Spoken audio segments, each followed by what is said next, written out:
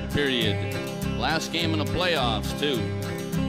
Oh, take me where the hockey players face off down the rink. And the Stanley Cup is all filled up for the champs who win the drink.